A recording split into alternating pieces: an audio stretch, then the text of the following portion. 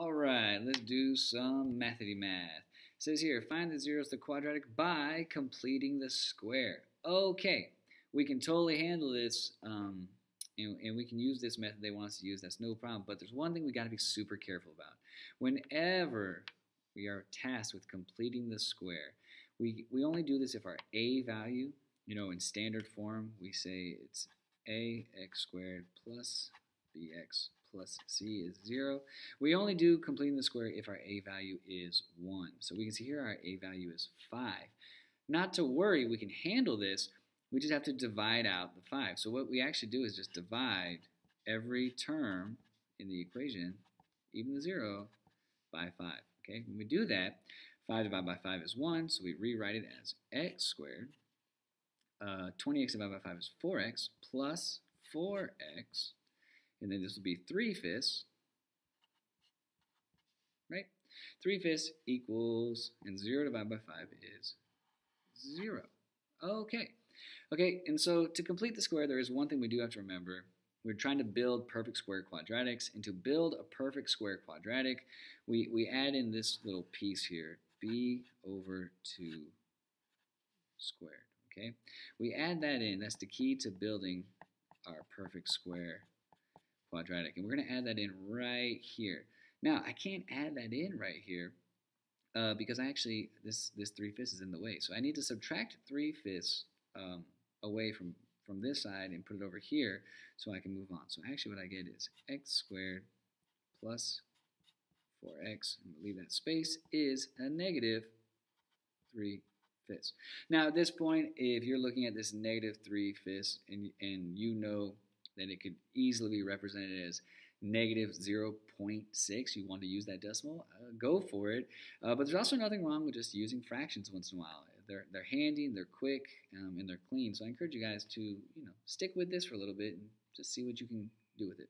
Okay, so coming over here, uh, b divided by 2 squared. Well, my b value is 4. So that's actually saying 4 divided by 2 squared. Well, 4 divided by 2 is 2 and 2 squared is 4. Okay, so I'm actually adding 4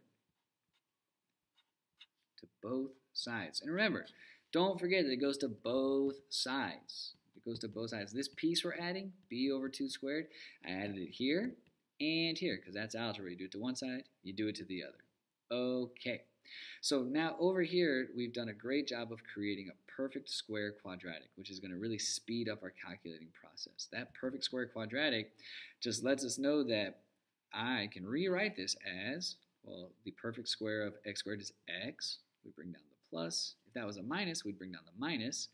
Um, and then the perfect square quadratic of 4, I mean, sorry, the perfect square value of 4 is 2, because 2 times 2 is 4. We just square that. So x plus 2 squared is the same as saying x plus 2 times x plus 2. And if you FOIL that, you actually would get right back to where you started. Okay, but now we have this all factored out and ready to rock. Now coming over here, we have negative 3 fifths plus 4. So we have to remember um, to, to do our, our good math here. And we, we said, you know, if you want to write this as a decimal, that's okay.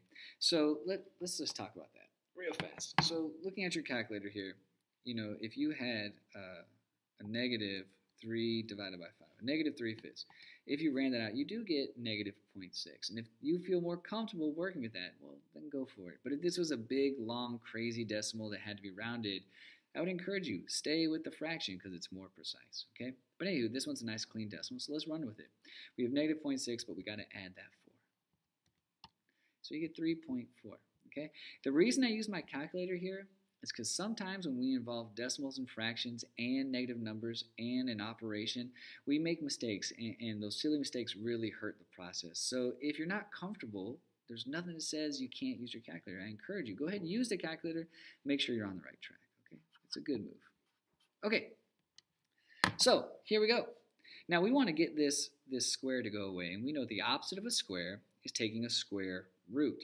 So I'm just going to take the square root of both sides, and I'm going to actually get I can show you that. I'll take the square root of both sides. And so I'm going to get x plus 2, okay, because that goes away, is the plus or minus the square root of 3.4. And we're almost done. The next step is, let me just scooch on down for you. The next step is we subtract 2 from both sides to get x all by itself. I can show that. And so you have x is plus or minus the square root of 3.4 minus 2.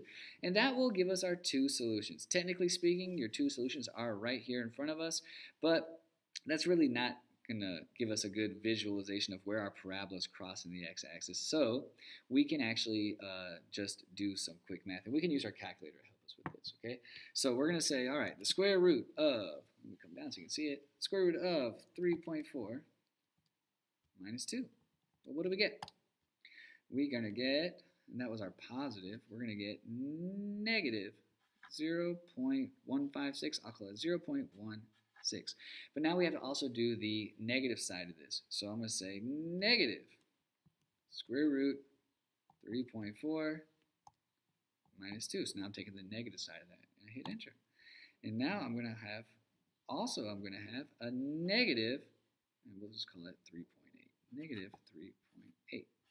And these are my roots, my x's, my solutions. This is where my parabola crosses the x-axis. It crosses twice, once at negative 0.16 and then again at negative 3.8.